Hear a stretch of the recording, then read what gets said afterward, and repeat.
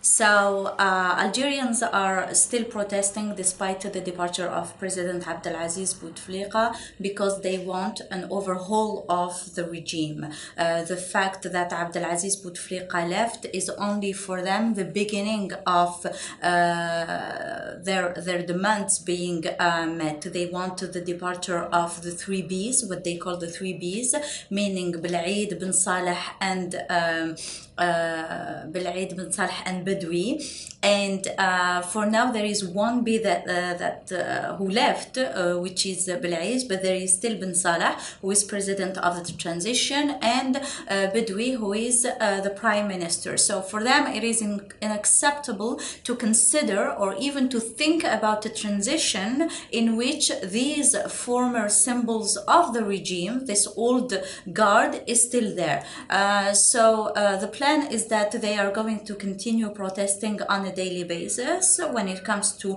corporates uh, or corporations, sorry, such as the students, the lawyer, the judges, and so on and so forth. And of course, the big demonstration of Friday for everyone will continue to take place every Friday in Algiers, the capital, but also all over uh, the country. And I do believe that this movement has the ability to continue.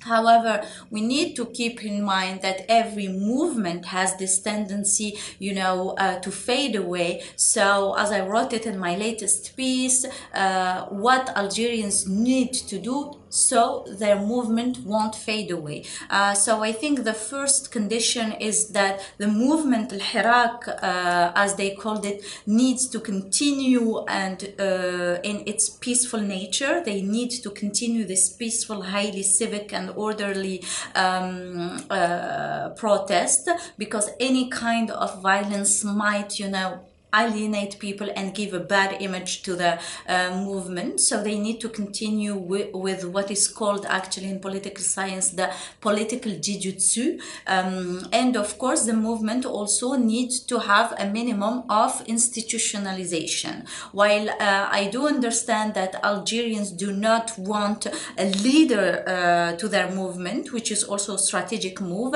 at a given moment, I think there is a minimum need of institutionalization, and this could take the form of, you know, local uh, local focal point that would be able to organize, you know, um, public event, public debate, but also demonstration, civil disobedience, and things like that.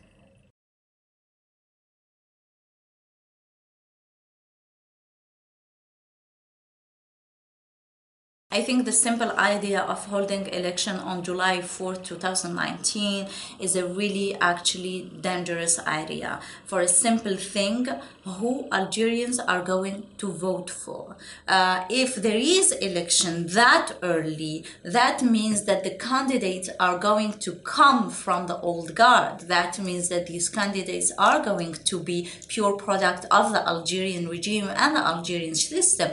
And this will give a chance to the regime and the system to regenerate itself. So I think the best solution right now is not to have elections. Elections, unfortunately, are too early for the country. I think the best way to do it is uh, as the Tunisian did it, and it took them more than three years to uh, to to to agree on all levels, is to have uh, a constituent assembly and then organize later on elections.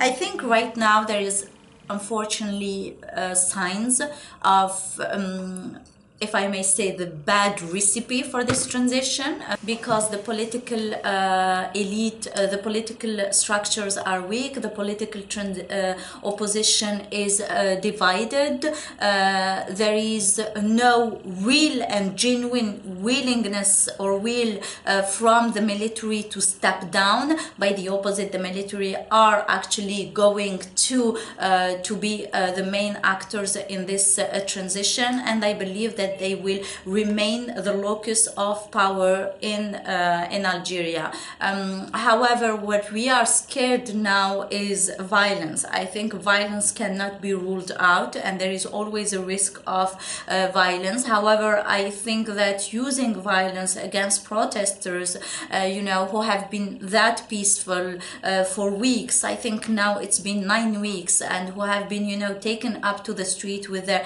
kids on their shoulder would be a terrible uh, mistake, uh, and this would uh, show the brutality of the security forces and the regime.